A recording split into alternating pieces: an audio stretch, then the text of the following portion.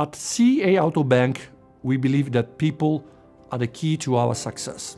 It is people who, with their talent, professionalism, and diversity, enrich our company and allow us to pursue our ambitious project of expansions in Italy and abroad. Every day, we take care of all the people who work with us with a series of corporate initiatives that we know can go a long way. By 2026, we will double the number of training hours each employee receives. 90% of them will be fully up to date on environmental, social, and governance issues, namely ESG.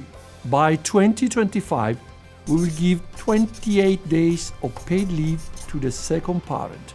Over the next two years, we will continue to enhance for a fair gender balance in our workforce. By 2026, our company car fleet will be made by 90% of full electric and plug-in hybrid vehicles. Only by focusing on people can we lead the transition to business models, technologies, and lifestyles that are more sustainable for us and the planet.